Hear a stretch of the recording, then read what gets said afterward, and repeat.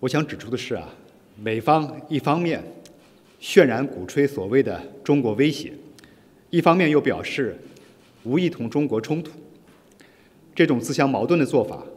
同中美元首会晤的精神不符，也难以得到地区国家的认同。如果美方真像其声称的那样，要为亚太地区和平发展发挥建设性作用的话，就应当切实尊重以东盟为中心的区域合作架构，而不是以意识形态划线、拼凑小圈子、挑动集团对抗；就应当尊重中国和东盟国家共同维护南海和平稳定的努力，